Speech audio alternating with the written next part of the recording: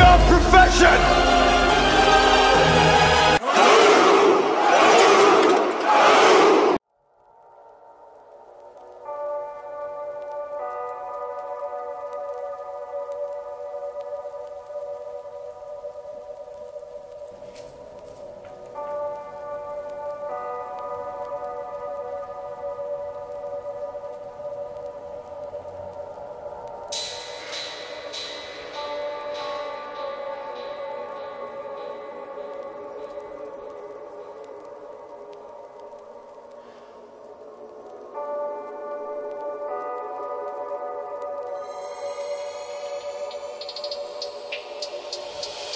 What's up, bro chachas? So I'm headed to the Young gym right now to hit this sexy shoulder sesh. But um, it's week 21 right now of since I started this bulk for my very first pro show ever. Super excited for it. And I woke up this morning at about 185, a little over 185. So that puts me at about 12 to 13 pounds above my bulk. Not above my bulk, above my starting weight. And uh, this uh, this weekend, I actually had quite a few people at the Young LA event come up to me and ask me how I grew my shoulders, which is surprising to me because I really don't think my shoulders are all that special. But I do have like an interesting transformation with my shoulders because I started my bodybuilding journey with very underdeveloped shoulders. And this is all because I was doing a push pull leg split. And in doing this push pull leg split, I would only like throw in shoulders, maybe in like the chest thing. So basically, I'd have an underdeveloped upper chest and then an underdeveloped front delt and underdeveloped medial delt. And uh, this ended up getting me like this kind of round powerlifting looking physique because I just didn't have shoulders with their own volume of like enough stimulus to create enough growth to proportionally grow with the rest of my physique. So I created this special program for myself after doing a lot of research for like two months. And basically, the special program was based off of daily undulating periodization. So I'm not sure if you guys have heard about this, but daily undulating periodization is essentially a form periodization in which you vary rep ranges within the week. So that way you can train a single muscle group more frequently by targeting different muscle fibers. So the first day would be basically this is this is normally um, a program that power builders or power lifters will use uh, and power lifters will have a power, a strength, and like a hypertrophy day. And so the power would be like say one to three reps, strength would be like three to five reps, hypertrophy would be probably around eight reps. But for me, since I wanted to do it in bodybuilding style, I up the reps a lot higher for every single day. Especially since in the past there has been a lot of anecdotal evidence of bodybuilders having a lot of growth even in 15 to 20 rep ranges.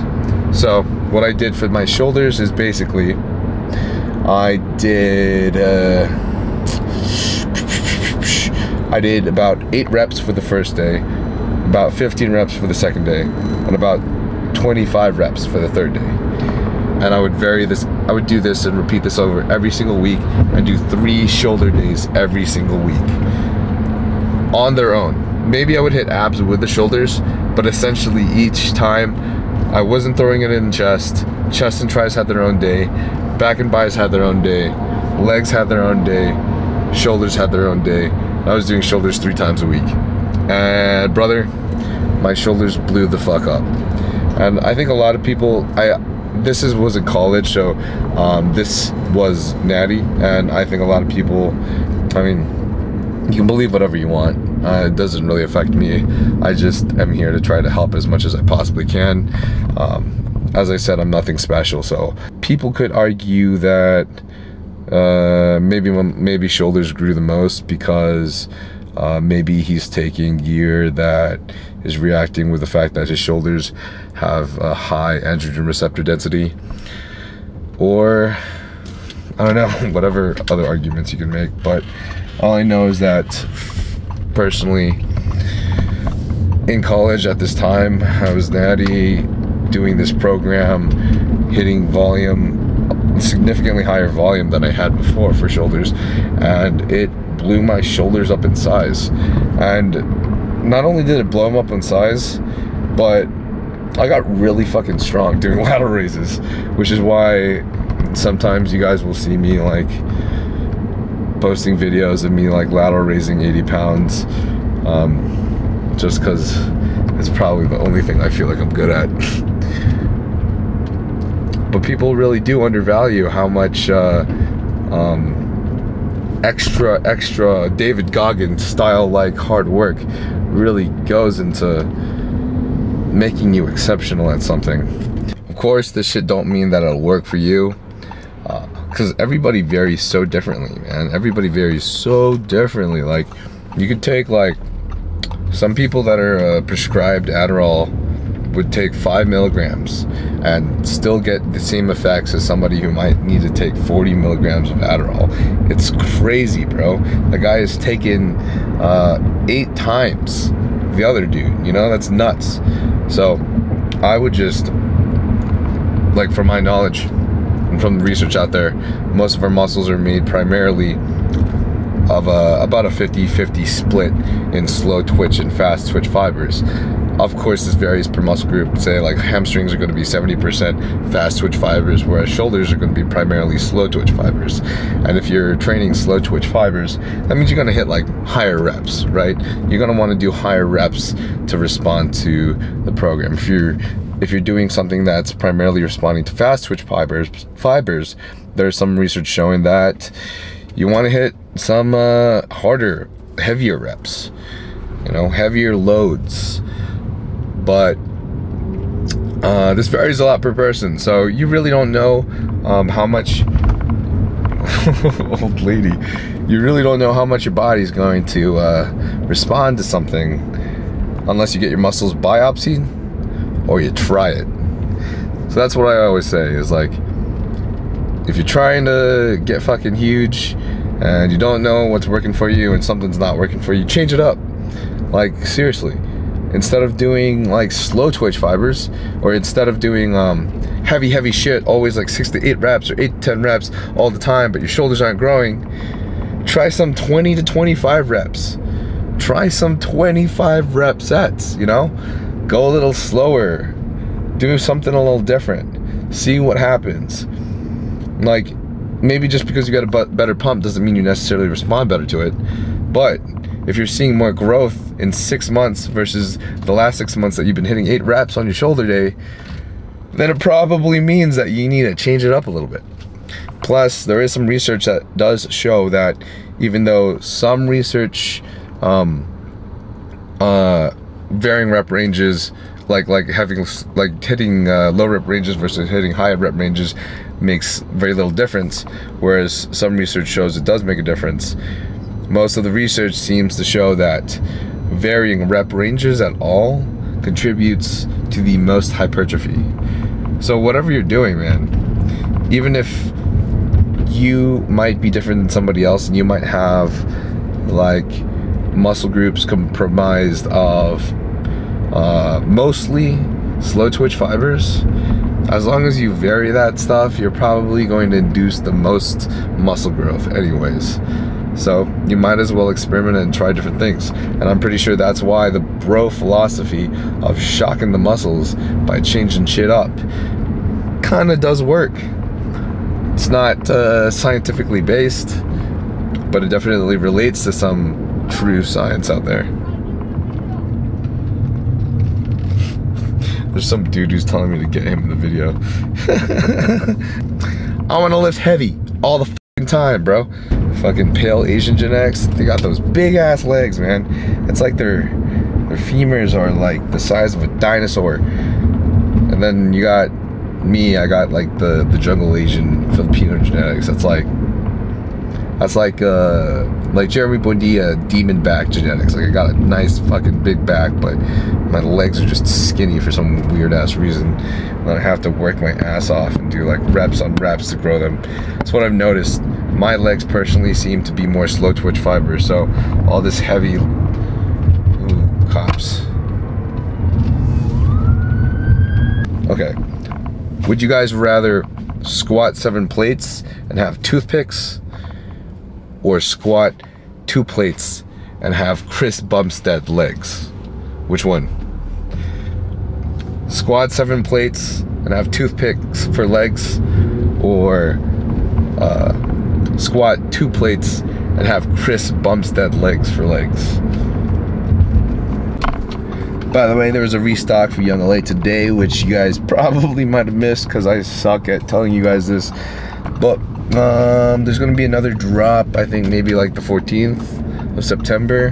And then there's gonna be some other drops. So yeah, of course, Young LA, that's what I'm wearing with these ugly ass pants. They're so so, so fucking sick. Um, code NYLE for that discount for 50% off.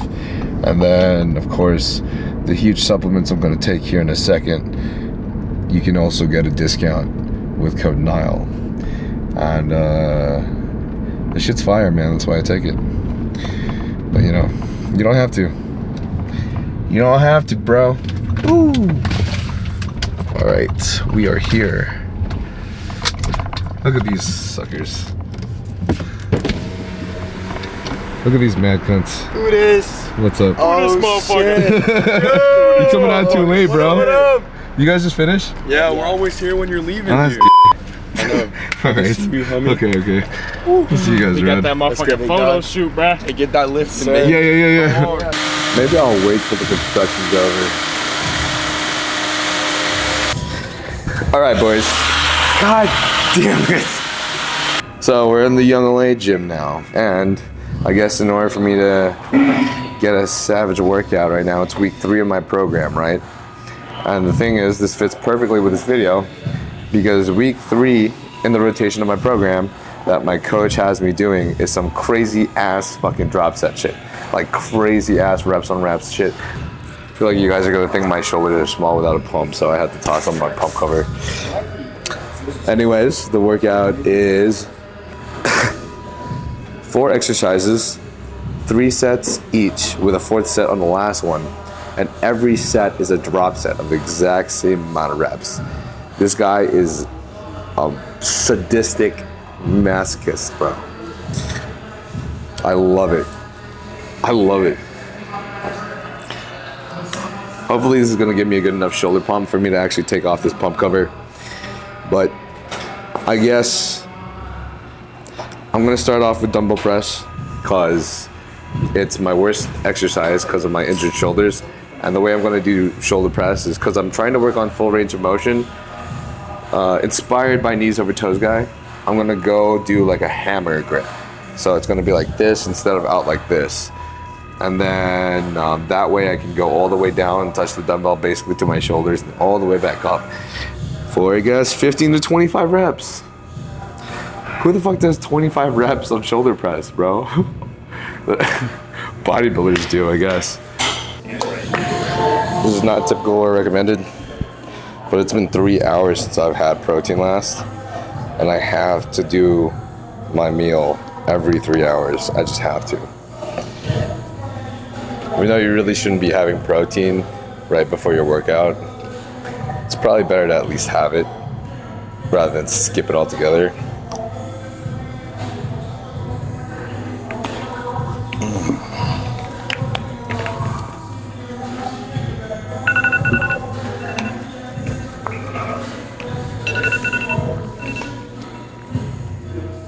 That's my alarm that it's time for my protein. I don't got time to drink that shit.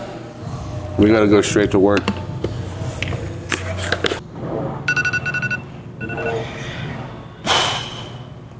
So I got a two minute, I got a two minute timer for my wrists.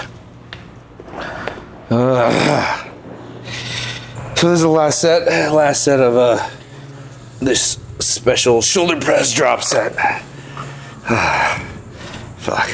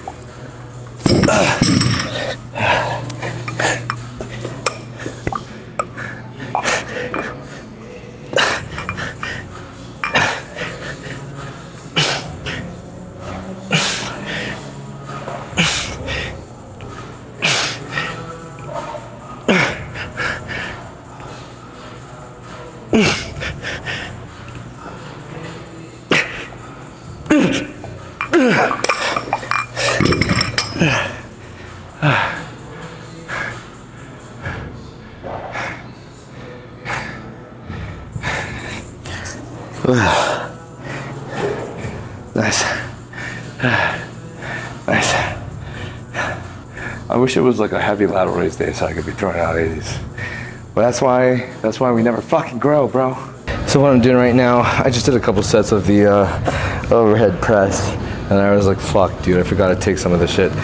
I took this in the car, the pump serum, but um, the Wrecked has a little caffeine, and the Magnify, forgot to take this shit too.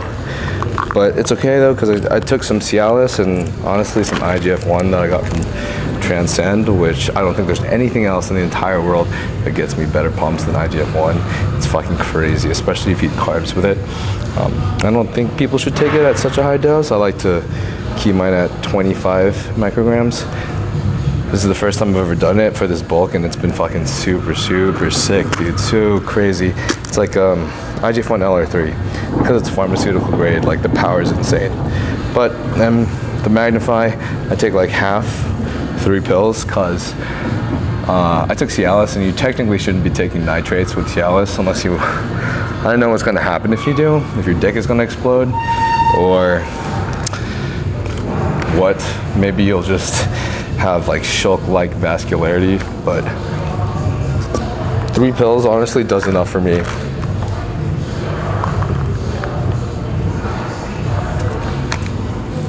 If you don't have Cialis though, and you don't take Cialis, just take the whole serving, six pills.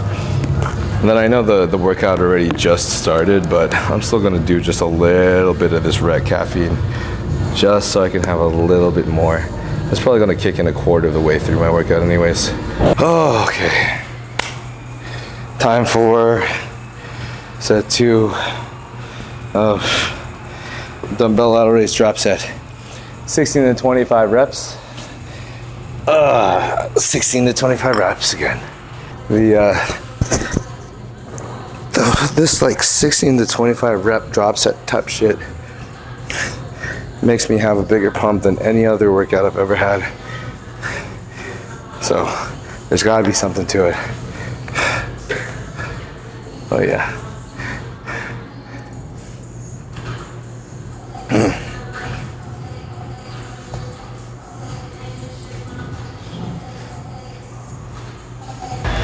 Last set of this bitch.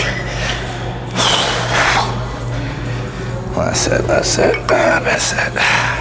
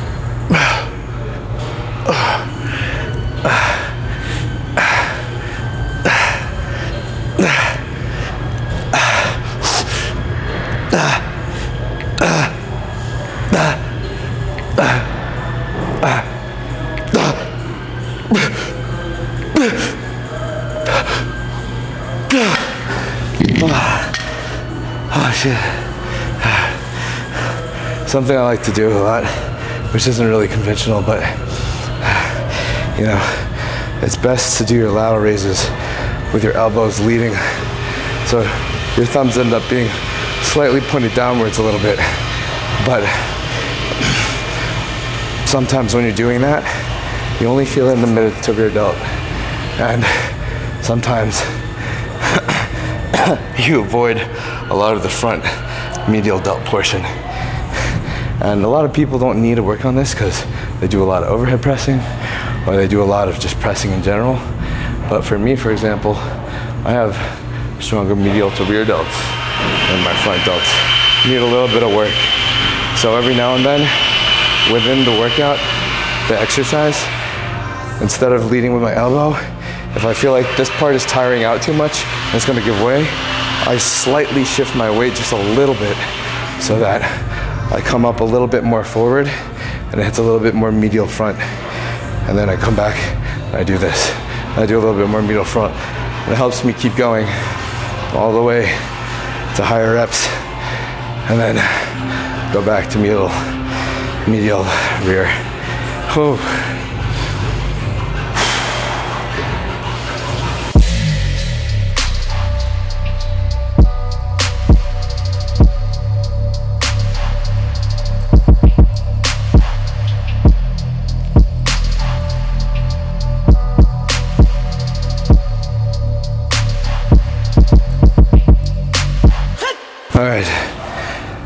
Third exercise, gonna be partial lateral raise.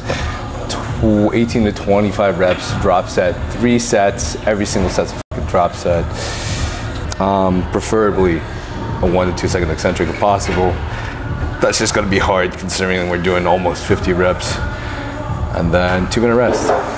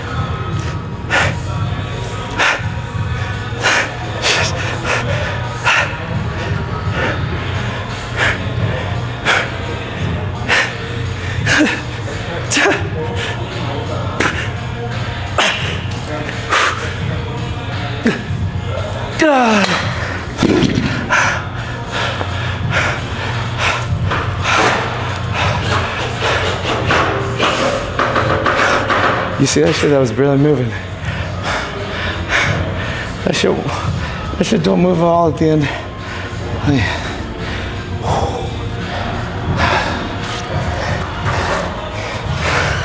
That was that was not moving, bro.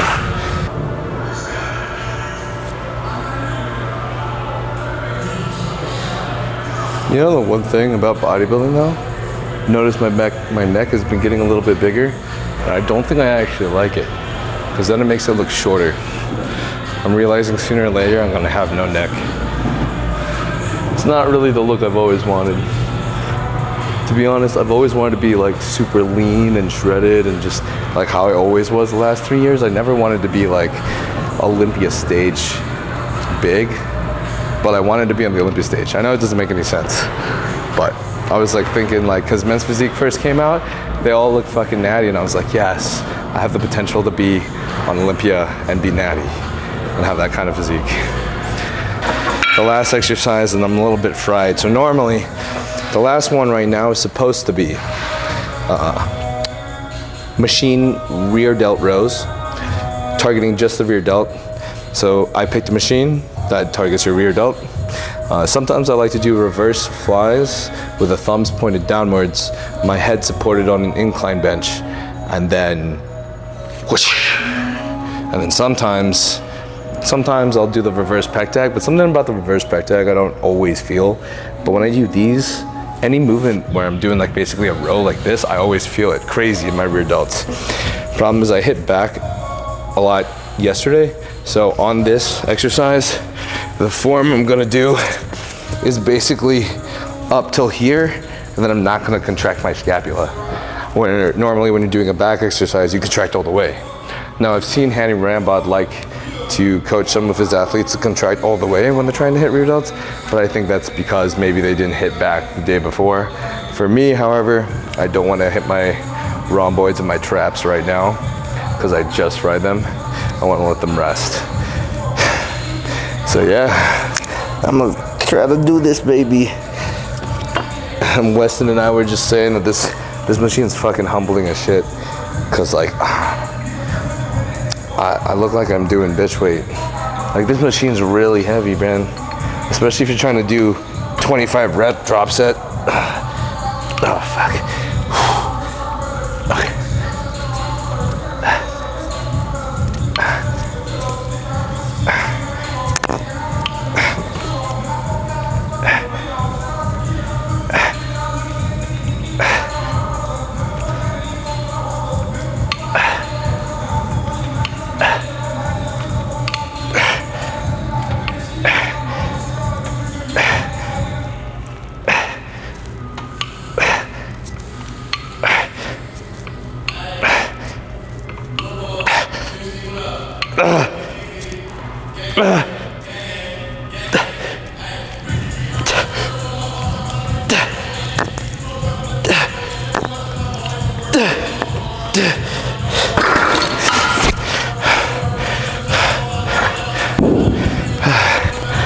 Wish I had more weight to drop.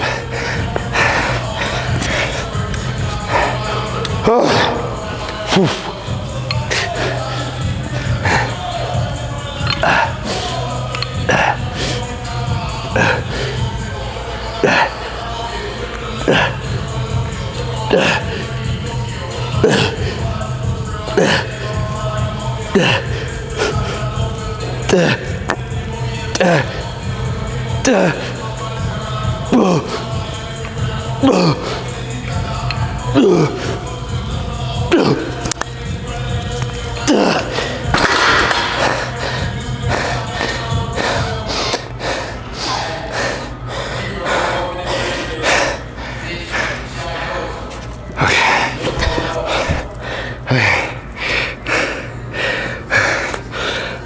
abs after this, but fuck. Fuck that shit. I'm gonna do abs tonight at home. I'm tired. Wanna say hi? Yeah, dude. Bro, I fucking. Weston's trying to help me find this thing. I fucking lose these every time. I'm not. I've bought five of these. Five of these from Am. actually crazy. That's why I buy it from Amazon for like 25 get- bucks. And you don't get the actual ones because yeah. you'll lose it. Yeah. anyway. If I get a fucking $200 AirPod, Fair enough. there's no chance, man. I can't afford that. Um, I feel like you know you did a good workout when your balls are sweaty.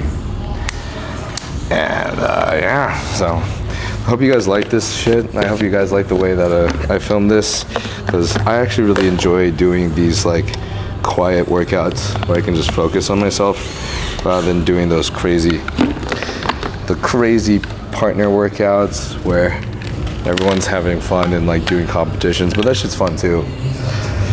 But again, code now for Young LA and uh, Huge Supps. And uh, oh, and if you guys are interested in the IGF-1 stuff um, and the Cialis Transcend HRT, the link's in the description too. So that's where I get my TRT and everything from. But yeah, love you guys. Let's get fucking swole, baby. Let's get fucking swole. If ever you guys come visit the Young LA gym and you find a white earphone, let me know, bro. Because I ain't buying another one of those. Let's get big, baby.